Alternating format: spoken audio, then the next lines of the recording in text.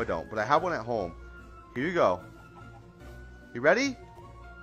Oh, you like that apple, huh? he still doesn't want to be my friend. Come on. We could be the best of partners ever. No,